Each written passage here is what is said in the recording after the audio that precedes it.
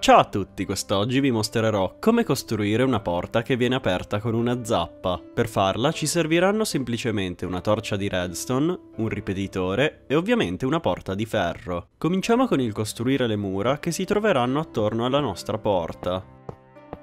Poi andiamo in questo punto e guardando verso il pavimento mettiamo la porta. In questo modo, senza nessun segnale di redstone, sarà aperta. Poi andiamo davanti e scaviamo di un blocco sotto al lato sinistro della porta e mettiamo un ripetitore rivolto verso di essa. A sinistra di uno, scaviamo fino ad arrivare a un blocco più in basso di due e mettiamo una torcia di redstone sul lato.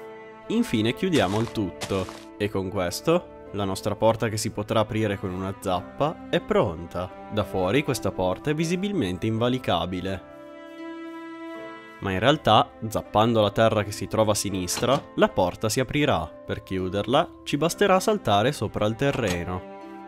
Oppure, se non è irrigato, dopo un po' di tempo tornerà della normalissima terra e chiuderà la porta. Questo succede perché la terra zappata conta come mezzo blocco e quindi non fa attivare il ripetitore dalla torcia di redstone, come invece succede quando in mezzo c'è un blocco intero. E con questo è tutto. Noi ci vediamo nel mio prossimo video. Ciao a tutti!